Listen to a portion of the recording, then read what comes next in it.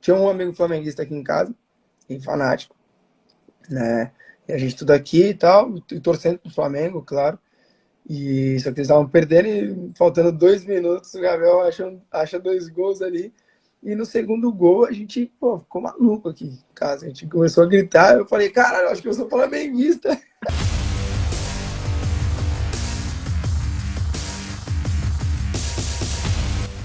Salve, salve nação, saudações, vídeo top. Galera, é o seguinte, meu parceiro Almeida Flá gravou um vídeo bacana. Diego Ribas entrevistando o Neymar Júnior. E me chamou muita atenção o Neymar falar que virou flamenguista na final da Libertadores. Então, eu vou fazer agora o react dele aqui e quero pedir um favor para você aí, flamenguista inscreva-se no canal do nosso amigo Almeida Fla. Link na descrição aqui. Se você ainda não é inscrito lá, inscreva-se lá. O cara é gente boa demais e também tem conteúdos top. Recomendo. Valeu? Quero pedir aí, ó, para você, cara, que tá sempre aqui no canal fazendo comentários, para você que deixa like sempre. Para você, eu quero pedir, compartilhe esse vídeo aqui para seu amigo, para seu vizinho, para seus parentes, tá bom? Compartilhe aí com eles no Zap, no Insta, no Face, que vai ajudar bastante o nosso canal, tá bom, galera?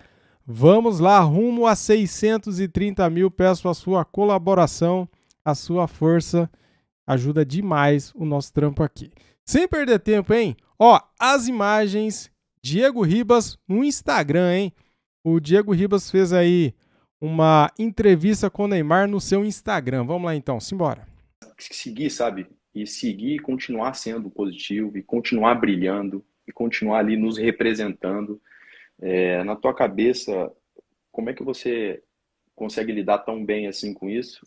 Eu falo bem porque eu acompanho você e, cara, independente de erros e acertos, você está sempre ali.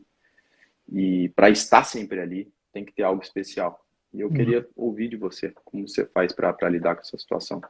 Óbvio que, que ninguém gosta de ser vaiado, né? Ainda mais quando você joga em casa, por exemplo. É, é uma situação chata, né? é triste, óbvio. Né? Já fui vaiado algumas vezes aqui e foi uma situação que me deixou muito triste. Vaiado na seleção também, que eu não me senti né, confortável com o que eu estava vivendo. Foi bem triste mesmo. E, mas eu tive que buscar força de algum lugar. Né? E, e aí é onde vem onde você tudo que você já passou, tudo que você já viveu para chegar até, até, aquele, até aquele momento. E, e eu comecei a lembrar da, da minha infância, do que eu já passei para chegar até onde eu cheguei, das pessoas que me ajudaram para chegar até aqui. Então aí é que aí é o que vem o que eu sempre coloco na minha cabeça, né? Então eu vou jogar pelas pessoas que, que eu sei que estão torcendo por mim de verdade. Não essas que estão me vaiando. Se elas querem me vaiar, não tem problema. Vou seguir em frente, porque eu sei que tá o meu filho na arquibancada, tá o meu filho em casa assistindo, tá a minha família, minha mãe, minha irmã, tá todo mundo querendo que eu vença. Então, porque eu me abater pelas vaias e deixar minha família triste. Não, então aí é onde eu coloco na minha cabeça e falo assim, não, então eu vou jogar por eles. Então esse jogo vai ser por eles. Óbvio, porque tem jogo que a gente joga pra torcida. Que, pô, quando tá tudo bem, tá tudo muito feliz, fala, ah, hoje é o jogo da torcida. Vamos dar show. Uhum. Dá show. Só que tem dia que, que acontece isso, que acontece vaias, e aí é onde você tem que se apegar na sua família, nos momentos ruins, você fala assim, não, é por eles que eu vou jogar, porque eles estão sempre comigo. Então foi nesses, nesses momentos que, que eu tive de vaia os meus pensamentos sempre foram na minha família. Fera demais, cara. É uma situação Legal. realmente que você consegue lidar. Nós temos que, que encarar, faz parte de alguma forma, mas assim, é importante que as pessoas saibam que é, o jogador está ali para o espetáculo, né? E teu, teu estilo de jogo, que é alegria, precisa estar com esse com o coração bem, né? Nem sempre vai ser possível, mas precisa estar com o coração leve, precisa estar é, realmente à vontade para nos entreter, né? Com a tua forma de jogar. E você falou dessa questão do teu filho, cara. Como é que é? Como é que ele tem ficado aí com você? Como é que é essa relação com ele? Seus momentos livres também? É, como é que ele, vocês vivem tudo isso, essa questão de, de pai e filho, assim? Como, como é isso nos detalhes? Cara, a relação que eu tenho com ele é, é maravilhosa. Meu filho, o, graças a Deus, é um moleque que eu não tenho nem o que dizer né, sobre ele. Ele é muito doce, muito, muito alegre, muito família, muito coração. E ele está crescendo cada vez mais, né? 10 anos já sabe como é que é. é. Tá tão esperto, já tem a sua, a sua identidade, né? já, já, já, tem a sua personalidade, vamos dizer. E, e hoje ele está morando em Barcelona, né? mas sempre quando pode vir para cá, quando pega uma folga na, no colégio, vem para cá, está aqui comigo. Então, como ele está perto, eu estou vendo ele mais vezes. Né?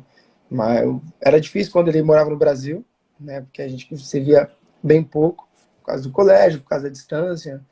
E quando ele veio morar aqui com a mãe, com o padrasto, foi, foi meu, fiquei muito contente. Falei, nossa, agora tá tudo perfeito, tá aqui do meu a gente vai se ver bastante, vai estar junto. E a relação eu com ele, não só com ele, mas como com a mãe dele, né, com o marido dela, a relação que eu tenho com eles é, é de família mesmo, sabe? Como se fosse minha irmã, como se fosse um amigo que eu conheço há anos. E, eu acho que isso é importante para todo mundo, né? Acho que, querendo ou não, senão o reflexo de tudo é na criança, né? Se você tiver mal com, com a mãe, mal se, se dando mal, né? Acho que reflete na criança, a criança acaba sofrendo, né? Então, graças a Deus deu tudo certo, a gente se entendeu, né? A gente sempre se entendeu, na verdade, e a relação que eu tenho com eles é, é incrível.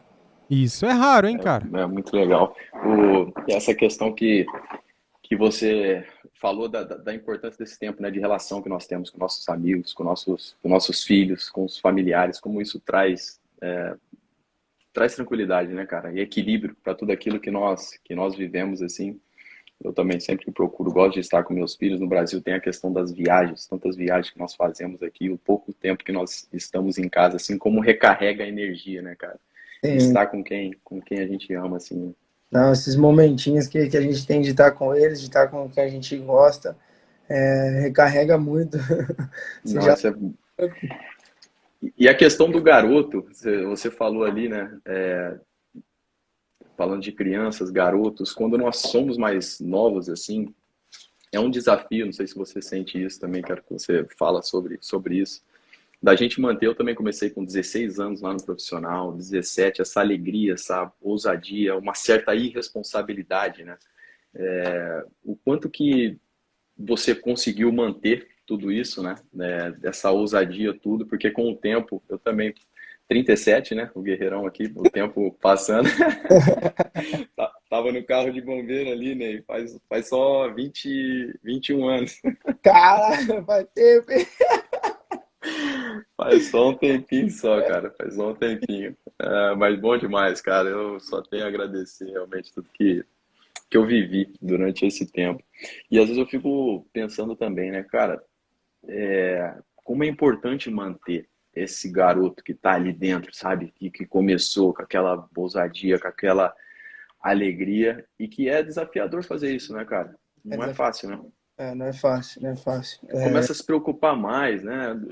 E tem essas coisas que, que com o tempo surgem muita, tem muitas dificuldades constantes, mas manter isso é, é muito importante, né? É muito importante. Acho que se você né, conseguir manter esse lado, né, que desde quando a gente começou, né, esse lado moleque, na verdade, é, e juntar com a experiência, pô, hoje eu tenho, se eu voltasse há 15 anos atrás, tivesse a cabeça que eu tenho hoje, eu ia fazer o tanto de merda que eu fiz.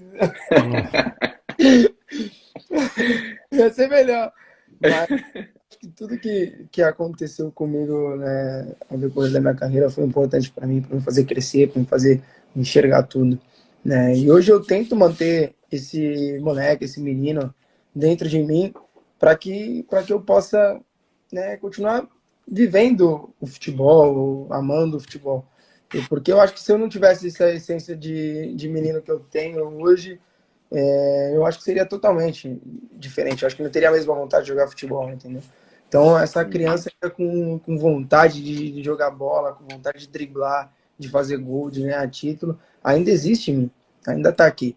E eu tenho certeza que quando ela for embora, vai ser o momento de, de, de parar, de, de buscar outras coisas, entendeu? Então acho que eu sempre deixo ela guardadinha aqui no meu coração para que ela me acompanhe, para que essa essência fique comigo por bastante tempo. Não, que ela continue muito tempo. Eu tô aqui, ó, tô com os cabelos em branco que eu tô Pareceu esperando. Eu tava, tava, tava, te esperando nessa questão aí do Flamengo, tudo, sonho atrás, não sei o que. Eu falei, vou esperando, mas o tempo tá passando aí, não dá mais pra esperar muito mais. Já realizei o sonho do, do da, da, seleção de estar lá contigo. A questão do Flamengo, meu cabelo não tem como esperar muito, não, guerreiro. Você, você tem alguns momentos, você já comentou algumas coisas de Flamengo assim, você assistiu, assiste jogo, teve um momento especial assim que você já já viu de Flamengo, Maracanã assim que você achou especial? Final da Libertadores de vocês aqui em casa e eu assisti com, com dois com dois amigos, tinha um amigo flamenguista aqui em casa, em fanático, né? E a gente tudo aqui e tal, e torcendo pro Flamengo, claro. E só que eles estavam perdendo e faltando dois minutos, o Gabriel acha, acha dois gols ali. E no segundo gol a gente pô, ficou maluco aqui em casa. A gente começou a gritar. Eu falei, cara, acho que eu sou flamenguista. Pular, jogar travesseiro para cima. Eu acho que, que não é por, por ser o Flamengo. É, acho que foi mais pelos, pelos jogadores que tinham no Flamengo também, sabe? Porque a maioria que está no Flamengo ali são todos meus amigos, todos conhecidos de, de, seleção, e a gente torce, né, pelos nossos amigos, pelos nossos companheiros, né, e ver a felicidade de vocês foi, foi incrível, assim, é como se eu estivesse participando do título mesmo, tanto que eu liguei pro Gabriel depois do, da final uhum. com ele, e eu fico muito contente de ver a alegria de todos vocês, de vocês, né, ganharem aquela final do, do nada, fizeram foi. história, e, pô, a alegria que eu fiquei aqui em casa, eu, meu pai, a gente plano tudo abraçado, foi muito engraçado, foi, foi um momento Que legal, foi, foi uma situação muito fera mesmo. Até hoje a gente fala dos detalhes, eu, o Gabi, é, Felipe, realmente foi um momento muito especial e ter vivido tudo aquilo é, é fantástico. Futebol nos proporciona momentos sensacionais, né? Igual você tava falando de tudo que você fez, merda que fez, mas cara, é isso. A vida a gente aprende com isso. A gente aprende, vai se transformando em pessoas, em pessoas melhores. Futebol, ele é muito importante, claro. Mas ainda mais importante é, é o homem que está ali por trás, é o pai, é o amigo, é o cidadão, é, é o filho, e, e, isso é que vai moldando né, nosso caráter e nós temos que, que sempre seguir em frente com essa, com essa visão.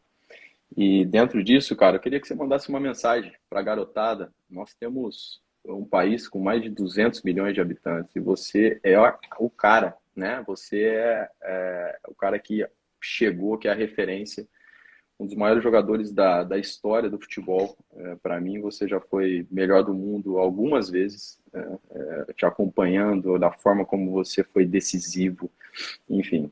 E eu queria que você mandasse uma mensagem para esse país, para esses garotos que sonham, que têm esse objetivo. Nós estamos aqui hoje falando Cara, dessa, acredite... principalmente dessa questão. Que acredite no, no sonho, que, que vá em busca, que treine, que seja disciplinado. Eu acho que sem disciplina é, você não vai conseguir alcançar praticamente nada. É, óbvio que o caminho vai ser difícil, vai. Vai ter muitas coisas que vão te decepcionar, vai ter, vai ter hora que você não vai conseguir ter força para fazer o que quer e você vai ter que buscar os seus familiares, os seus pais, mas que você continue e que você ponha no seu coração, né, que você salte essas barreiras que vão existir, que você Acredite que você seja alegre, feliz e que desfruta de cada momento, porque passa rápido. Passa rápido, é, as oportunidades são, são poucas e você tem que estar sempre preparado. Se não é nessa primeira oportunidade, pode ter certeza que a segunda vai aparecer quanto menos você esperar. E por isso que você tem que estar ali, aqui, ó, só louco para agarrar né, a oportunidade para que você possa conquistar os seus sonhos, os seus objetivos e tudo mais. Já acabou? Que espetacular, cara. Deixa eu dar o like lá. Cara, que espetacular este bate-papo amistoso, né, cara? Uma coisa bem, bem legal, né, galera? Bem bacana este bate-papo aqui de Diego Ribas e Neymar Júnior. Cara, o tempo passou que eu nem vi. Galera, ó, link na descrição do nosso parceiro aí, Almeida Flá, tá bom? Tá aqui, ó.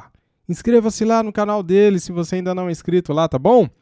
Vai lá e deixa o like. Comente lá, fale, fale de mim lá. Ó, o Marcos Flá recomendou aqui, cara, e eu vim aqui me inscrever no seu canal, tá bom? Vamos aí erguer ajuda, erguer não, o cara já é grande, né? Vamos ajudar a aumentar o número de inscritos aí do Almeida Fla. Cara, é top, topzera. Cara, que bate-papo bacana, Neymar, falando ali da comemoração, né, da final da Libertadores, cara. Que, que emocionante, né? Deixa eu tirar a tela. Emocionante lembrar 2019. Final de Libertadores.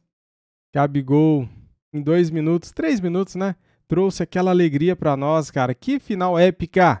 Nunca na minha vida vou esquecer desta final. Eu posso viver 100 anos que com certeza será um dia que eu vou lembrar para sempre. Final da Libertadores de 2019, cara, épico. Top demais. E aí, você gostou do bate-papo do Diego Ribas, que mandou muito bem nas perguntas para o Neymar Júnior? É um cara do bem, né, cara? A gente sabe que é um cara do bem. Eu gosto do Neymar. Se Deus quiser, um dia ele vai vestir essa camisa aqui, ó, e vai representar a nação. Eu tenho fé. Você também? Então comente aqui. Neymar, um dia vai vestir o manto sagrado? Sim ou não? Comente. Quero saber se você pensa como eu. Seria um baita reforço, hein? O que, que vocês acham? É, cara. Eu, eu acredito, eu acredito. No futebol, tudo é possível. Não agora, né? Quando ele tiver um salário mais baixo, o Flamengo vai lá e contrata ele. Valeu, galera! Tamo juntos. Muito obrigado a todos vocês que assistiram o nosso vídeo aqui. Deixa o like aí, se inscreva aqui no canal e ativa o sininho. Saudações. Fui!